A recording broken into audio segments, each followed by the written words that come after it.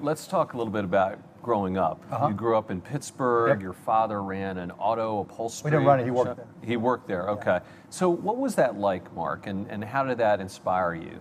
I mean, my dad busted his ass. I mean, he worked six six days a week. Um, le- left at seven at seven seven thirty in the morning. Got back at six or seven o'clock. Um, lost his eye in an accident doing upholstery. He had a staple break when he was putting um, um, some covering on a car seat. Um, you know, it was it was a, a middle class upbringing. My mom did odd jobs. You know, they, they just wanted something better. I mean, my grandparents came over from Russia, and you know, my dad was the first generation. My uncles were the first generation Americans, like my mom too. And you know, like every child of immigrants, they wanted better for their kids. You know, it's funny. I mean, a lot of people grow up that way, Uh-huh. right? But not many people end up like you. So what do you think that's the result of? I think, you know, everybody's got something that they're good at, and the hard part is just finding it. And I found out early that I was a good salesperson, that I really liked business.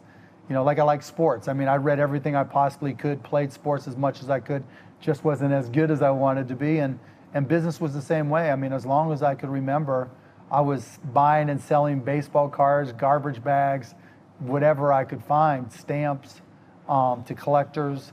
But I was also reading everything I possibly could about business. And, you know, I was that unusual kid that I'd rather read about Ted Turner than go to the movies. And, and so I think that created a foundation. And my parents didn't always, my dad used to always say, I don't understand what you're doing, but I'm glad you're doing it. And, and so I had my ups and downs along the way, of course. But um, I just think that I just, I just put in the time and was fortunate enough to really get excited about business. And that paid off benefits over the long haul.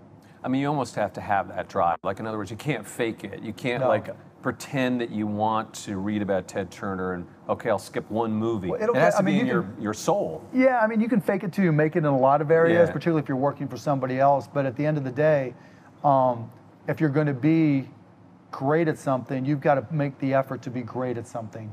Um, whether it's sports, whether it's physics, math, science, business, whatever it may be, you know, it's not just a natural skill. You've got you've got to to learn, and particularly if you're in the technology industry, because it changes every day.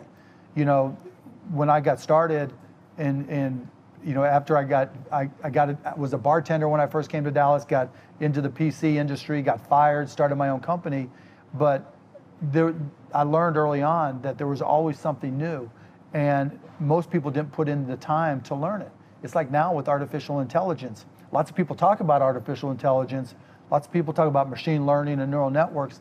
Not a lot of people are putting in the time to take classes or do the tutorials or to, to learn how to apply it to business. And that's what it takes. And, and you know, that's just something I've always enjoyed. So that, I've been fortunate at that. Now, wait a minute. Are you doing that with AI Yeah, right absolutely. now? What are you Oh, What are you doing? Oh, I, I mean, I- I've been on Amazon doing the machine learning tutorials. Right now, I'm going through. Um, I've taken Python online classes. I- Really? yeah, absolutely. Um, if you go in my bathroom, there's a machine learning for dummies book. Um, I just started uh, JavaScript neural networks. Um, there's a little tutorial where they've got most of the library, brain.js, and all the libraries. And it's not, if you have a background in programming, it's not hard.